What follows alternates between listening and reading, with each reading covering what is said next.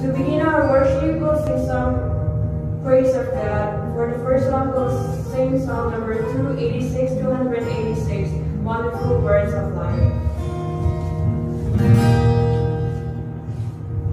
Sing the